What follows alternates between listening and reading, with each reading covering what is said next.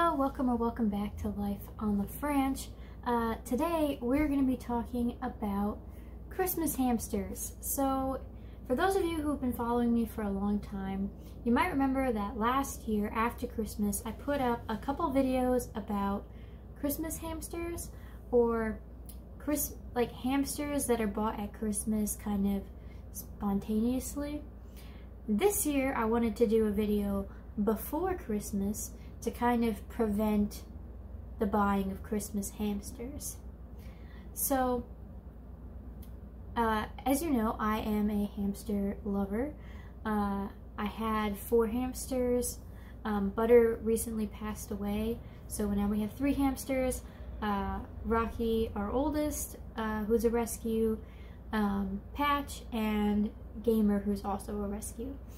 So, there's a couple reasons why I don't support getting hamsters for Christmas. One of them is that they aren't just for Christmas.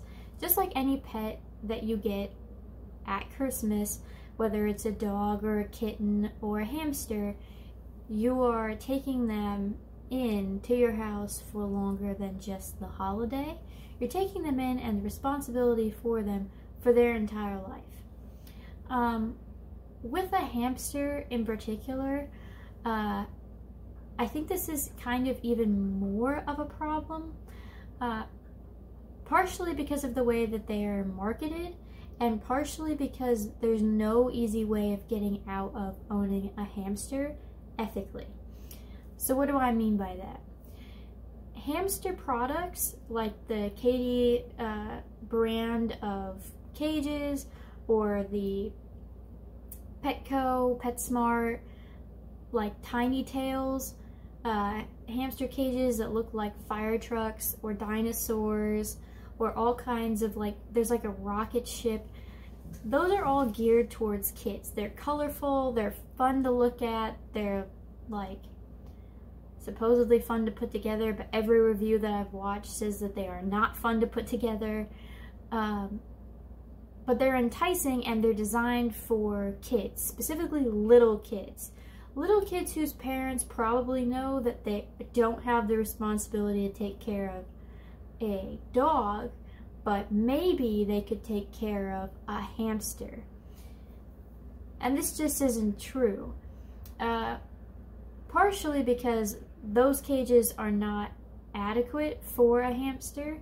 Um, hamsters need at least 450 square inches, but also because the responsibilities of caring for a hamster go beyond that of a small child by themselves. Um, so if you're an adult looking to buy a pet, uh, you should get a pet that you will also enjoy. So if you're not also going to enjoy caring for a hamster and taking care of a hamster, you shouldn't get your kid a hamster because that responsibility is probably going to fall on you. Cleaning cages, not super fun, uh, requires like scrubbing down, you know, the wheels and stuff, um, not making a mess when you take out the bedding or put bedding in, uh, vacuuming, um, you know, the pieces that inevitably end up on the floor uh, transporting the hamster out of the cage into a different enclosure while you clean the enclosure. Those are all things that like little kids are not going to be able to do by themselves. So unless you as an adult also want a hamster, you shouldn't be getting them for your kids. Now let's say that you're an adult and you're moderate. So what, you know, if you want to get your kids a hamster, but you don't want a hamster, I suggest a plushy hamster. You know, you can put it in a little cage and see how well they train, you know, take care of their pet hamster. Do they feed it? Do they put water? Do they change the bedding? Uh, as a test because um, this hamster won't end up being malnourished or mistreated uh, by your child. And it still provides them with the responsibilities of a hamster. The other reason that your child might not like having a hamster uh, is that they're nocturnal and they burrow. So you don't actually see hamsters that much. Uh, even less than having a fish. With a fish, you can always like see the fish and it's like swimming around. With a hamster, oftentimes they're underground, especially if you give them the proper amount of burrowing, which is six inches at least uh, depth of bedding. Your hamster's going to spend a lot of that time underground, and the time that they spend above ground is going to be like at sunset or later, or very early in the morning. Um, and they run on their wheels a lot at night, so if your kid is a light sleeper, you know, it just might not be a compatible fit for a kid.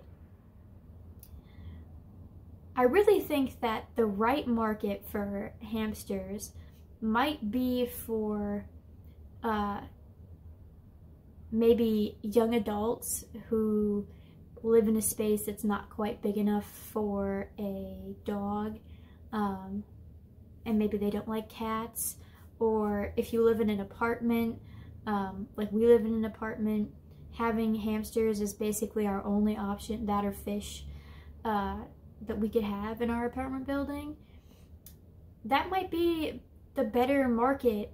And I don't know why pet stores aren't marketing towards that demographic, especially when a lot of young people really benefit from the, you know, mental health aspects of caring for a pet. Um, but they've really honed in on the kid market for some reason, and it befuddles me. Uh, but like I said, the second reason uh, getting a hamster for Christmas uh, is precarious, more so than maybe getting a cat or dog, is that say you end up with a hamster and it's a watch only hamster or a hamster that you know doesn't like being like interacting with humans like our rescue Rocky doesn't that might not be providing the pet experience that you want, what do you do? Or let's say you get a hamster that bites, right? And you try to train it out, but you have a little kid and they're like, it's nibbling, you know, nibbling all the time. And so you want to get rid of your hamster. Well, a lot of animal shelters don't take in hamsters. They take cats, dogs, maybe rabbits, but it's very uncommon for them to take in something as small as a hamster because their lifespans aren't that long. So you end up turning to like Facebook Marketplace or maybe Pet Finder um, to try to personally advertise, you know, your hamster like to be rescued which is how we ended up with Gamer. It's it's so strange, um, and there's just not a lot of great options. And I'll just toss this in as kind of a third thing to consider. Um, you know, with adopt and don't shop. That's kind of a motto I support. I'm not as rigid about it as some uh, content creators are, but there are a lot of hamsters out there that need homes that are up for adoption.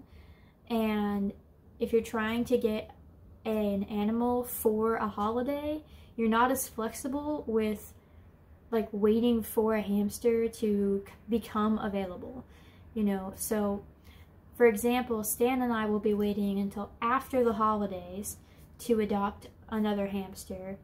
Partially because we want to give time to grieve Butter, but also because we know that after Christmas, a lot of people will get rid of their hamsters that they don't want because they didn't realize how much work they are or how expensive they are or that they aren't kid friendly um, or that they're boring and so we want to adopt a christmas hamster um,